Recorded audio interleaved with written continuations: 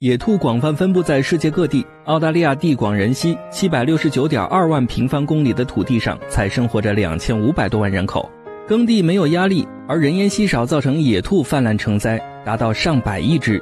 野兔繁殖能力强，会打洞，造成了草场严重破坏。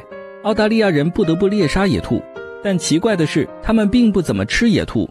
据说他们的饮食习惯跟英国人相似，不爱吃野兔。而野兔在我们国家是绝对的美味，可以说是供不应求。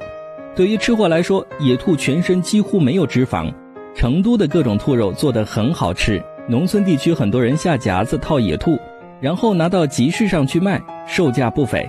走在农村一些非水泥的小路上，不小心还会踩到夹子，基本上都是用来逮野兔的。随着武汉新型冠状病毒肺炎疫情发酵。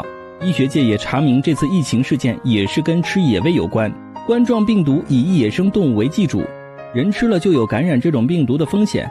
从这个角度看，澳洲人不吃野兔，似乎早就知道有这种风险，只是我们欠缺这方面的考虑。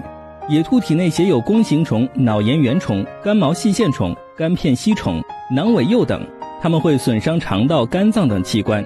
野兔还携带蜱虫，蜱虫这东西出镜率有点高啊。很多动物都携带蜱虫，是许多病原体的传播媒介。人感染后主要表现为发热、乏力、恶心、呕吐，部分患者还可出现皮肤瘀斑、消化道出血、肺出血等。严重者如治疗不及时，两周内可致死，死亡率高达百分之三十以上。虽说比起蝙蝠、蛇等野生动物，野兔看起来似乎危害没有那么大，但是最好还是不要去碰了。